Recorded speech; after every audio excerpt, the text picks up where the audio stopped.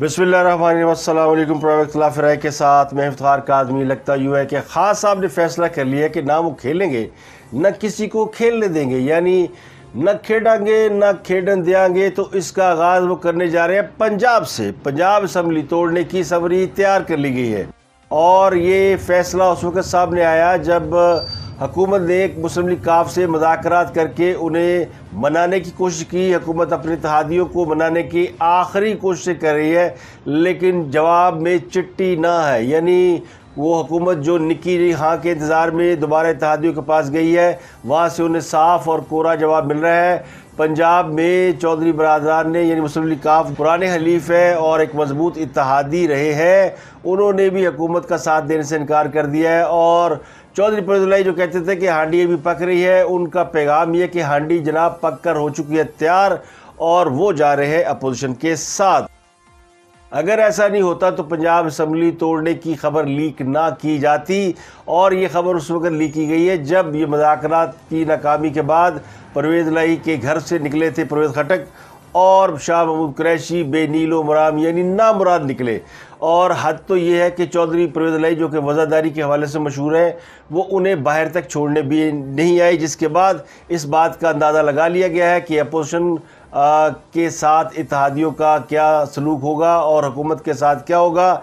साफ़ ज़ाहिर है कि इतिहादी अब अपोजिशन के पलड़े में अपना वज़न डाल चुके हैं और परवेज लाई जो कि वजारत आला के मुमकिन उम्मीदवार हैं, जिन्हें अपोजिशन की तमाम जमातें तकरीबन ग्रीन सिग्नल दे चुकी है कि वो पंजाब में वजारत अला संभालेंगे। खान साहब ने इस बात का फैसला किया कि जे मैं नहीं तो फिर चौधरी परवेज लाई भी नहीं। तो चौधरी परवेज लाई की, इससे पहले कि वो पंजाब में जो है वो हुकूमत की तब्दीली का अमल सामने आए या कोई तहरीक अदम अतमाद पेश की जाए या हुकूमत की तब्दीली के लिए कोई जोड़ तोड़ किया जाए तो फैसला किया गया कि पन दो तोड़ दो। अब ख़ास अब क्या ये काम फेडरल यानी वफाकी कौमी असम्बली से कहते हैं, कौमी असम्बली, वफाकी नहीं। क्या ये वफाकी हुकूमत में काम कर सकते हैं? क्या कौमी असम्बली तोड़ी जा सकती है? तो खास साहब ने एडवाइस तो बहुत पहले से भेज रखी है सदर ममलकत को। तो क्या जलसे में खास साहब इस बात का ऐलान कर सकते हैं कि वो जल्द इलेक्शन कराने वाले हैं? या वो कह सकते हैं, प्रेसिडेंट को कि जनाब असम्बलियाँ तोड़ दें। अब इसमें कानूनी रुकावट कि जब तरीके अदम अतमाद ऑन फ्लोर हो तो फिर असम्बली नहीं तोड़ी जा सकती, लेकिन जो कुछ तोड़ा जा सकता है हासब वो ज़रूर तोड़ देंगे। और उनके हाथ में, बस में जो कुछ हुआ, वो तोड़ फोड़ के जाएँगे, वो तबाही फैला के जाएँगे। उन्होंने ऐसे नहीं कहा था, मैं ख़तरनाक हो जाऊँगा तो वो ख़तरनाक जो है, वो अब हर तरह से अपने, यानी कोशिश करें कि मैं नहीं तो फिर कोई नहीं गा। वो ख़ुद को पाकिस्तान के लिए नागुजीर समझ रहे हैं। और हो सकता है कि जलसे में वो सरप्राइज़ दे, क्योंकि वो किसी भी हद तक जा सकते हैं। हाँ साहब के बारे में जिन लोगों को ये गुमान है कि उनके पास कोई ट्रंप कार्ड नहीं या उनके वो ब्लफ खेल रहे हैं लेकिन वो बहुत सारी चीज़ें उनके पास है और ये पहला सरप्राइज़, जो बड़ा सरप्राइज़ है, वो पंजाब असम्बली तोड़ कर दे सकते हैं और उसके बाद वो नए इलेक्शन का ऐलान भी कर सकते हैं या इस्तीफ़ा तो वो देंगे नहीं और उन्होंने देना नहीं है। लेकिन उन्होंने जलसे में दो बातें की कवालिया में जलसे के दौरान उन्होंने कहा कि अगर मैं रहा तो तो इसका अगर लगना जो है उससे बहुत से लोगों ने इस बात का अंदाज़ा लगा लिया है कि उन्हें इस बात का यकीन है कि वो नहीं रहेंगे। अगर रहा वाली जहाँ तक बात है तो वो किसी आ, क्या सर रही है किसी के अभी यानी किसी महूम सी, छोटी सी उम्मीद के ऊपर वो रहने की बात भी कर रहे हैं कि हो सकता है वो रह भी जाए।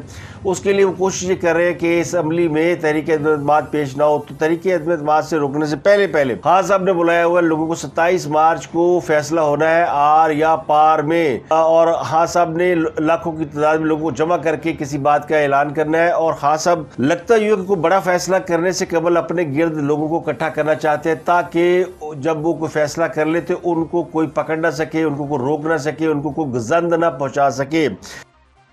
इस तरह का एक फ़ैसला मियाँ नवाज़ शरीफ ने किया था लेकिन वो वजी अजम हाउस में आ, अपने दो चार मुसाहबीन के साथ बैठकर उन्होंने फ़ैसला कर लिया तो फिर उसका नतीजा ये निकला कि चंद मिनटों बाद वो हथकड़ियों समेत वहाँ से ले जाए गए। तो इस किस्म के फ़ैसले करने के लिए अवामी ताकत अगर साथ हो तो क्या उससे बचा जा सकता है? क्या वो फ़ैसले इम्प्लीमेंट हो सकते हैं? इस बात का हदशा लोग ज़ाहिर कर रहे हैं कि इस किस्म की कोई मूव हो सकती है। कि खास साहब कुछ भी कर सकते हैं। खास साहब के पास इस वक्त वो गुस्से में भरे बैठे हैं और वो अदलिया को भी आवाज़ें दे रहे हैं, फ़ौज को भी आवाज़ें दे रहे हैं, उनका मुखातब अपोजिशन नहीं है, उनकी मुखातब अदलिया और फ़ौज है। और फ़ौज को ये कहकर डराने की कोशिश करे कि नवाज़ शरीफ आ गया तो फिर वही करेगा, क्योंकि नवाज़ शरीफ की कभी फ़ौज से बनी नहीं है और किसी आर्मी चीफ के साथ उनका अच्छा नहीं रहा और वो जब वापस आ गए तो फिर दोबारा फ़ौज के साथ उनका मैच पड़ जाएगा। अदलिया को भी उन्होंने पैगाम दिया कि अदलिया के साथ, अदलिया के ऊपर ये अटैक करते रहे और अगर वापस आ गए नवाज़ शरीफ तो वो अटैक करेंगे। तो दोनों को, यानी दो बड़े इदारे जो है, जो गैर जमहूरी कुतें हैं, उनको अब आवाज़ें दी जा रही है कि मेरी मदद करो, मुझे बचाओ। तो खास साहब ने मुझे बचाओ के नारे लगाने शुरू कर दिए हैं और वो ये नारे लगाकर अदली और फ़ौज को आवाज़ें दे रहे कि उन्हें आकर बचाया जाए। इससे पहले वो कहते थे कि न्यूट्रल जो जानवर होता है और उसके बाद वो न्यूट्रल को जानवर कहने पर वो फिर जिनको उन्होंने कहा, उनके साथ ही उनके आगे लेट गए, उनसे माफिया, तलाफिया और इस तरह की चीज़ें की जा रही है। क्या वो ख़ुद को बचा पाएँगे और क्या वो असम्बली तोड़ने का रिस्क लेंगे या फिर किसी का सर फोड़ने का रिस्क लेंगे? आ, लोगों को जो जमा कर जो मेरे जैसे लोग हैं वो ये अंदाज़ा लगाने की कोशिश करें कि आखिर ऐसा कौन सा काम वो करने जा रहे हैं जिसकी वजह से वो चाहते हैं कि उनके गिर्द लाखों नहीं तो हज़ारों लोग तो मौजूद हों। अब परेड ग्राउंड जहाँ पे पीटीआई ने जलसा करना है वहाँ तो गुंजाइश बीस तीस हज़ार से ज़्यादा लोगों की नहीं है। और अगर कुर्सियाँ लगा दी जाए तो इससे भी कम लोग बैठ सकते हैं। फ़िलहाल हुकूमत ने को बीस एक हज़ार कुर्सियों का ऑर्डर किया है और फिर वो जो लाखों की जलसे करने की ख्वाहिश है, दस लाख लोग इस्लामाबाद में जमा करने करने की डी चौक में जो उन्होंने जाना था तो वो तो पूरी नहीं हुई। तो क्या हाँ सब चाहते हैं कि परेड ग्राउंड में बड़ा जलसा करने के बाद वो मार्च पास शुरू कर दे और अपनी जो फौजें हैं, उनको हुक्म दे कि चल पड़ो जनाब, डी चौक की जाने वो चल पड़ो। और फिर जो है वो, जितने गैर जमहूरी अनासर हैं, जो जिन, जिनको, जिनसे वो तो करें कि उनकी मदद करें उनको कुछ सबक सिखाया जाए। तो हाइपोथेटिकली लोग सोच रहे हैं कि खास अब ऐसा क्या कर सकते हैं। बहुत से लोगों का तो ख्याल ये कि उनके पास कुछ नहीं है। जादू, मंत्र, टोरा वोना सब जो वो करते थे, अब चूँकि उन्होंने उनको भी नाराज़ किया हुआ है और वो उनके जो, जिनको नाराज़ किया हुआ अगर आमल को नाराज़ किया तो मामूल भी नाराज़ है। तो वहाँ पे तो आमलीन का जो मामला है, वो हो गया ठप। अब रहेगी बात उस्मान बुजदार साहब की इस्तीफ़े की और उस्मान बुजदार की असम्बली तोड़ने की। तो ये तुरब का पत्ता उनके पास है और वो जो सरप्राइज़ दे सकते हैं, वो सरप्राइज़ मिलेगा इतिहादी जमातों को, क्योंकि इतिहादी जमातों को लीड कर रहे हैं जनाब परवेज लाई और उनके बैग में एम क्यू एम है और उनके साथ ही बाकी की जमातें, बाप भी उनके, यानी साथ चल रही है। तो अगर चौधरी परवेज लाई को ये सरप्राइज़ दिया जाता है कि वो उनको उनको यानी उनके रास्ते मस्तूद किए जाते हैं, वो वजी नहीं बन सकेंगे, वो अगर अपोजिशन के साथ जाते हैं तो उन्हें कुछ नहीं मिलेगा। उनके हाथ कुछ नहीं आएगा तो ये दरअसल वो खासा सिर्फ़ अपने इतिहादियों से इंतकाम लेने की कोशिश करेंगे। अदरवाइज़ तो उनके पास और कोई सरप्राइज़ नहीं अपोजिशन तो पहले ही यानी मुस्लिम लीग नून या कोई और जमात ऐसी है नहीं जिसकी पंजाब में हुकूमत हो या वो अपना वजी अला लाना चाहती हो। तो फेडरल गवर्नमेंट अब कैसे बचेगी हुकूमत कैसे बचेगी उसके लिए आ, अगर तरीके बात आठ तारीख को पेश होती है अट्ठाईस मार्च को तो अगले हफ़्ते के अंदर ये बात तय हो जाएगी कि यानी ये तरीके बात की सूरत पेश की जाएगी। तो प्रॉब्लली जो डेट दी जा रही है, जो आज एक उन्होंने डेट दी है शेर रशीद साहब ने भी वो कहते हैं कि ये प्रोसेस जो है अट्ठाईस को अगर ये टेबल हो जाता है तो तीन या चार अप्रैल को तरीके बाद को पेश हो जाना है। यानी तीन को वोटिंग हो सकती है चार को वोटिंग हो सकती है, इससे आगे आप नहीं जा सकते। तो कहने वाले कहते हैं कि साला एक मच्छर इंसान को हिजड़ा बना देता है और साले या साला एक जलसा खान को, यानी खान की कुर्सी बचा सकता है। तो अब है उसके ऊपर खड़ी कि जलसा कितना बड़ा होगा और ख़ास साहब जो है वो कितने बड़े इतदाद में आवाम को लाएँगे सामने और उनके सामने खड़े होकर अपने फ्यूचर का ऐलान करेंगे या अपने लाहेमल का ऐलान करेंगे। और वो क्या हो सकता है, वो इनकलाब के नारे लगाएँगे, वो इनकलाब जिंदाबाद के नारे लगाएँगे, जिस तरह तारुल कादिर साहब ने इनकलाब का नारा लगाया और वो चल पड़े थे और जाके पार्लियामेंट हाउस के सामने जो एवेन्यू थी उसके ऊपर बैठ गए थे और वहाँ बैठ के उन्होंने कहा था कि बस समझ लें कि जो है मुस्तीफ़ा आया ही चाहता है। उन्होंने कहा कि आधा इनकलाब जो है वो हो गया और वो सज़ा हो गई थी। उस वक्त पीपल पार्टी की गवर्नमेंट थी और यूसुफ गिलानी को कोर्ट ने डिस्कवालीफाई कर दिया था। ये तोहन अदालत की सजा दी थी और वो डिस्कवालीफाई हो गए थे। तो उसको उन्होंने इनकलाब की कामयाबी समझा था। तो ख़ास साहब के जहन में कुछ इसी किस्म का इनकलाब है। वो इस वक्त इनकलाबी लीडर बनना चाहते हैं इनकलाब इनकलाबी नारे देना चाहते हैं। उनके जलसों में आप देखें तो नज़र आता है कि वो जितनी, जितने तरले मिनते कर रहे हैं और एक तरफ़ वो तरले मिनते कर रहे हैं, दूसरे तरफ़ वो आँखें निकाल लेने की और गर्दन दबोचने की और गर्दन मरोड़ने की धमकी दे रहे हैं। तो वो हर हरबा और हर चीज़ आजमा रहे हैं जिस तरह के उनके जलसे हो रहे हैं, जैसे कमालिया में हुआ, मानसरा में हुआ तो उन जलसों से उनको बड़ी होप है कि आवाम उनके पीछे खड़ी है। हालाँकि वो सरकार है और सरकार के जलसे में सरकारी लोग ही आते हैं और लाए जाते हैं। अब ट्रेनें चलाई जा रही हैं कराची से लोगों को ट्रांसपोर्ट मुहैया की जा रही है। और यानी कहते हैं ना पूरा ज़ोर लगा रहे हैं ईडी चोटी का ज़ोर लगाकर हुकूमत इस जलसे को कामयाब करना चाहती है। लेकिन कितने लोग ले आएगी और परेड ग्राउंड में तो लोगों को, को खड़ा करने की जगह नहीं है तो इसका मतलब है हाँ सबका ख्याल है कि लाखों लोग आएँगे तो रास्ते चौक हो जाएँगे। इस्लामाबाद उनके पूरे कब्जे में आ जाएगा और फिर वो जो चाहेंगे अपनी मनमानी करेंगे। तो क्या उनकी जो मनमानी है वो इस तरह की है कि वो हुकूमत में रहने के लिए आइन और कानून की धजियाँ उड़ा देंगे वो तहरीक अहमदाबाद पेश नहीं होने देंगे? या फिर वो कोई ऐसा फ़ैसला करेंगे जिस फैसले से वो इस मुल्क की बुनियादें हिला कर रख देंगे। तो दूसरी तरफ़ नून लीग और जे यू आई के काफ़िले भी निकल पड़े हैं, उनकी फ़ौजें भी निकल पड़ी हैं और ये मुकाबला यानी मैदान जंग बनने जा रहा है इस्लामाबाद। काफ लीग का जो नून लीग का जो काफिला है, उसकी क्यादत कर रही है मरीम नवाज़ और हमजा शबाज और उधर से जे यू आई के लोग निकल रहे हैं। पीपल्स पार्टी ऑलरेडी बड़े जलसे कर रही है। बिलाल भट्टो ने आज बड़ा जलसा किया। और उन्होंने पाराचनार में जलसा किया और उन्होंने उस जलसे में इल्ज़ाम लगाया कि खास साहब, उनके ख़िलाफ़ जासूसी के लिए और तहक़ात के लिए आईएसआई को इस्तेमाल करते रहे हैं। तो उन्होंने भी बिलाल भट्टो ने भी बहुत ज़बरदस्त तकरीर की। उनका जलसा भी लायक था देखने के और जल्द से जुलूस बड़े बड़े हो रहे हैं। अब पब्लिक आ गई आवाम पे। यानी अगले 24 घंटे में पब्लिक, यानी इतवार का दिन, पीर का दिन और उसके पीर का दिन और इतवार और पीर ये दो दिन ऐसे हैं जब पब्लिक सड़कों पर होगी और फिर, यानी फैसले अगर अदालत ने करने हैं, उसके बाद पार्लियामेंट ने करने हैं, अगर पार्लियामेंट और अदालत के फैसले ना हुए और सॉलिड ना हुए, यानी ऐसे ना हुए जिनसे हालात को संभाला जा सके तो फिर ये मुकाबला सड़कों पर गलियों पर हो सकता है और इसीलिए बहुत से लोग इस बात का खदशा ज़ाहिर कर रहे हैं कि कहीं लोग आमने सामने आकर न लड़ पड़े। वो जो कहते थे कि एक पाकिस्तान बनाऊँगा, उन्होंने अमली तौर पर पाकिस्तान को पाकिस्तान के टुकड़े टुकड़े कर दिए। अवाम की एक बड़ी तादाद अपोजिशन के साथ निकल के बाहर आ रही है और अवाम की एक बड़ी तादाद मकबूल तादाद उनके साथ भी खड़ी है। तो फिर दोनों तरफ़ पाकिस्तानी खड़े और पाकिस्तानियों को पाकिस्तानियों के सामने ला खड़ा कर देने का आखिर मकसद क्या है? जिस नैरेटिव पे ख़ास अब चले थे, वो करप्शन ख़त्म करने का नैरेटिव था। ना वो उसमें कामयाब हुए, ना उन्होंने करप्शन ख़त्म की, ना वो करप्ट लोगों को पकड़ सके, ना उनकी अपनी जमात में करप्शन ख़त्म हो सकी। अब नौबत ये आ गई है कि खास साहब उनको गालियाँ दे रहे हैं और वो खास साहब के अहल खाना को गालियाँ दे रहे हैं। यानी उनकी अहलिया के ऊपर सबसे ज़्यादा तनकीद की जा रही है। खातून अव्वल का इससे पहले नाम जलसों में इस कदर नहीं उछाला गया, जितना इस कदर इस वक्त उछाला जा रहा है। और उनके हवाले से बहुत से स्कैंडल करप्शन की दास्तानें और करप्शन के इल्ज़ाम लगाए जा रहे हैं कि सब कुछ उनके यानी उनकी वजह से चल रहा था। मैंने ज़ाती तौर पर तो कभी उन पर प्रोग्राम नहीं किया, लेकिन अब चूँकि जलसों में बात हो रही है, और जलसों से याद आया कि एक बड़ी खबर ये है कि एक सरप्राइज़ और आने वाला है। रिहाब खान ने दरख्वास्त किया जे यू आई सी कि, उन्हें उनके जलसे में ख़िताब करने की इजाज़त दी जाए, और वो ख़ास के हवाले से कुछ नए इनकशाफात करेंगे।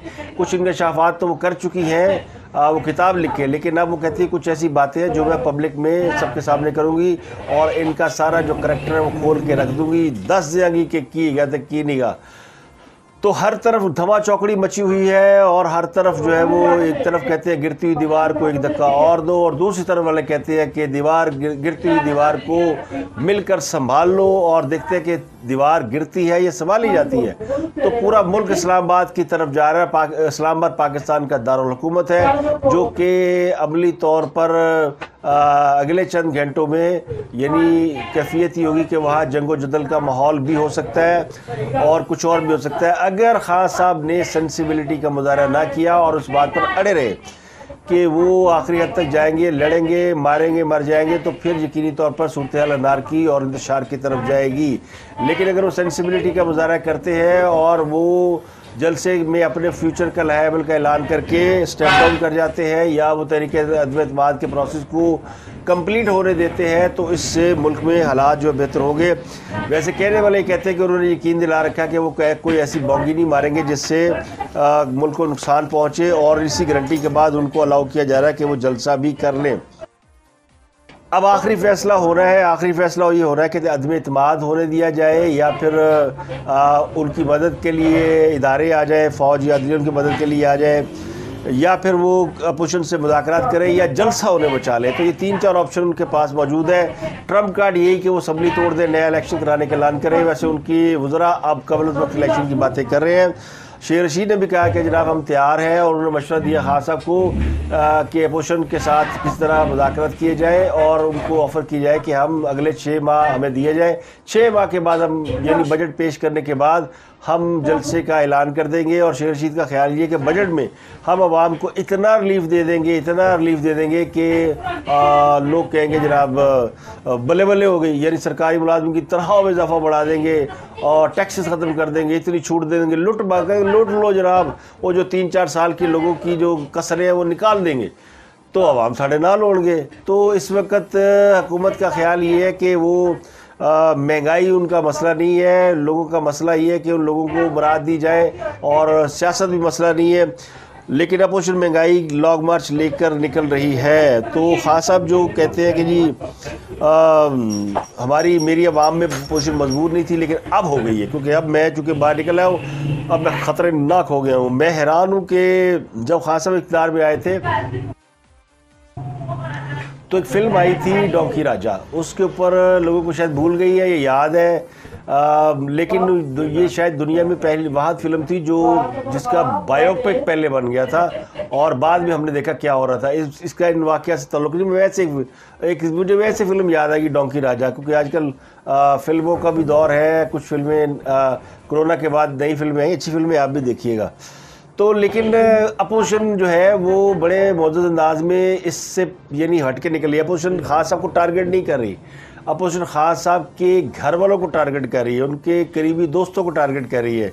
और उनका ख्याल है कि ये सारे वो है, जो कि करप्ट है, और मैंने आपको बता दिया था कि बहुत से वज़रा और मुशीरान और तर्जमान तो जनाब गायब ही हो गए हैं। और यहाँ पर तो सूरत हाल ये है कि मौलाना फजलरहमान पहुँचे। अब हुकूमत को खदशा ये कि कहीं अपोजिशन पहले से पहुँच कर धरना ना दे दे, कब्ज़ा ना कर ले तो मौलाना फजलरहमान ने कहा, जनाब, हम हम अट्ठाईस को ही पहुँचेंगे। और ख़ुद तो पहुँच गया वो इस्लामाबाद, लेकिन वो कहते हैं कि हम अट्ठाईस को ही जलसा करेंगे। और, जो नून लीग का महँगाई मार्च है, उसको सारे मिलकर, यानी जिस दिन तरीके अदमतमाद टेबल हो रही होगी, उस दिन फैसला तो नहीं होना, यानी कि पीर को तरीके अदमतवाद पेश करने की इजाज़त दी जाती है। तो जिस दिन तरीके अदमतवाद पेश की जाती है वो दिन काउंट नहीं होता। उसके बाद सात दिन काउंट होते हैं। तो उसके इसलिए कहा जा रहा है कि तीन या चार यानी जो इस अगला ये जो मंडे आ रहा है इसके बाद जो मंडे आएगा उसको उस रोज़ जो है वो बैलेटिंग हो सकती है यानी वोटिंग हो सकती है। और अगर हुकूमत ने कोई इससे पहले सरप्राइज़ ना दिया, यानी ख़ास साहब ने कोई सरप्राइज़ ना दिया, जो कि वो कहते हैं, मैं सरप्राइज़ दूँगा और मैं बड़ा सीने से लगा के बैठा हूँ तो पंजाब असम्बली तोड़ने का सरप्राइज़ तो सामने आ चुका है। अब क्या वो कौमी असम्बली तोड़ेंगे या कुछ कुछ और तोड़ेंगे या किसी का सर फोड़ेंगे, जो मैं कह चुका हूँ पहले भी सॉरी टू रिपीट लेकिन गेम अभी बाकी है, यानी खेल अभी जारी खेल अभी ख़त्म नहीं हुआ। एक बात तो तय होगी कि तहादियों के सत्रह वोट, जहांगीर तरीन के आठ वोट और अलीम खान के कुछ वोट और इसके अलावा पीपल्स पार्टी के साथ जो बरह रास्त लोग इन्वॉल्व हैं, वो वोट और कुछ लोग जो जे यू आई के साथ बरह रास्त और कुछ नूली के साथ बरह रास्त। तो ये बात तो तय है कि हुकूमत के पास अब अक्सरियत नहीं रही और उनके पास अब सत्तर अस्सी वोट रह गए हैं। अगर आप सारे वोट गिन लें आज हुकूमत ने एक बड़ा तीर मारा कि एक एक असम्बली के मेंबर थे जिनके ऊपर कत्ल का मुकदमा है पीपल पार्टी के एम एन ए हैं। तो उनके, उनका नाम ई सी एल में डाल करके इसको वोट नहीं डाले देंगे विच इज़ वेरी गुड तो जिस, जो शख्स कानून को मतलूब है, उसको वोट नहीं डालने चाहे, देना चाहिए। इस पर हुकूमत को दाद देनी चाहिए, लेकिन इससे एक वोट से कोई फ़र्क नहीं पड़ेगा। बड़े वोट जा चुके हैं। हाँ सबको इस बात का अंदाज़ा है तो तहरीक अदमतमाद की, के आने के बाद तो हुकूमत बिल्कुल नहीं बचती। तो फिर ऑप्शंस क्या रह जाते हैं? और ये ऑप्शंस मैं आपको बता ही चुका हूँ कि अब ऑप्शन खुले, अब टेबल पे पड़े हुए हैं। सारे पत्ते टेबल पे हैं कि खास कौन सा पत्ता उठाते हैं, कौन सा गिराते हैं। और किस तरह, यानी अपोजिशन तो गई यानी इतिहादी तो गए, और वो लोग भी गए। जहांगीर तरीन भी खामोश बैठे हुए हैं, और अलीम खान भी एक्टिविटी करने के बाद अब सिर्फ़ इस बात के इंतज़ार में कि उन्होंने, यानी इनके नंबर तय हो गए, ये खड़े हो गए उधर जाके। अब उन्होंने सिर्फ़ हिट लगानी है। तो सरप्राइज़ ख़ास आपको मिलना है। ख़ास आपको क्या सरप्राइज़ मिल सकता है, और ख़ास साहब को सरप्राइज़ कल ही मिलेगा। यानी जब ये सारा मामला हतमी मरहले पहुँचेगा। अब ख़ास साहब जो आ, बड़ी बातें कर रहे थे फ़ौज और अदलिया के हवाले से अब वो ज़ाहिर है जब कोर्ट ने भी देख लिया कि कोर्ट ने कह भी दिया कि जनाब ये नहीं हो सकता और ज़्यादातर लोग ये कह रहे हैं कि अब ये रेफरेंस वापस भेजा जा सकता है जो आइन के आर्टिकल तिरसठ की तशरी के लिए कोर्ट को भेजा गया वो वापस हो सकता है क्योंकि अदालत किसी पंगे में नहीं पड़ेगी। और ये कहने वाले कहते हैं, कानूनदान के जनाब, वोट काउंट भी नहीं होंगे जो मुनहरफ अरकान है। तो वो तो बारह तेरह है। अब तेरह वोट अकाउंट काउंट नहीं करेंगे तो जो बाकी के लोग हैं, वो कितने जाएँगे? तो बाकी के इतिहाद जो इतिहादी है, उनके वोट तो आपको काउंट करना पड़ेंगे। और फिर जो और लोग हैं, यानी आज़ाद उम्मीदवार हैं, उनके वोट भी आपको काउंट काउंट करना पड़ेंगे।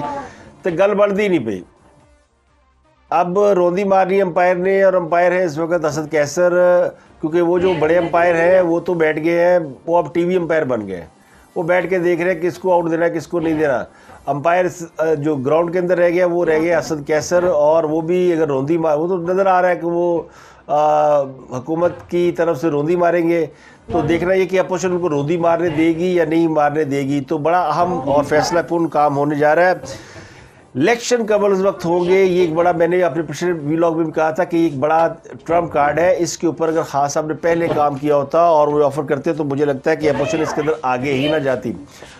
अब जो है वो वापसी का कोई रास्ता नहीं बचा और खास साहब के पास भी वापसी का कोई रास्ता नज़र नहीं आता। वो ये कि फिर देखते कि रात को बैठते हैं, बड़ी गाला में जन्नात और वो आमलीन अगर बैठ गए और वो राज़ी हो गए तो फिर तो कहानी हो जाएगी चेंज। हाँ सब रहेंगे इकतदार में और बाकियों की आँखों में पड़ जाएगी मिर्चें और वो ढूंढते फिरेंगे जंगलों में, बनी गाला के जंगलात में, वहाँ पे ढूंढते फिरेंगे रास्ते। ये हो सकता है, अभी ख्वाहिश हो सकती है, मेरी और आपकी ख्वाहिश हो सकती है, उनकी हो सकती है, जो चाहते हैं कि सुनिया गलिया के खास सब कल्ला फिरे। तो ख़ास साहब ने यानी वो जो जितनी धमकियाँ देनी थी, वो ऑलमोस्ट दे चुके हैं। अब उनके अमली तौर पर उन धमकियों को अमली जामा पहनाने का वक्त है। अब पहनाए, खास साहब अमली जामा, वो कैसे पहनाते हैं वो देखना पड़ेगा कि वो अमली जामा कैसे पहनाते हैं, उसको शक्ल क्या देते हैं। वरना फिर वो कहते ना कि वो, बाजी डर गई, बाजी डर गई हो कि मैं तो डराया ही था। तो वो ये वही केस है। ख़ास साहब ने अखीर कहना बाजी डर गई बाजी डर गई। तो आज के लिए इतना ही। आ, फिर आपसे मुलाकात होती है अगले भी लॉग में। अपना गुरुद्वारा के लोगों का बहुत ख्याल रखिएगा।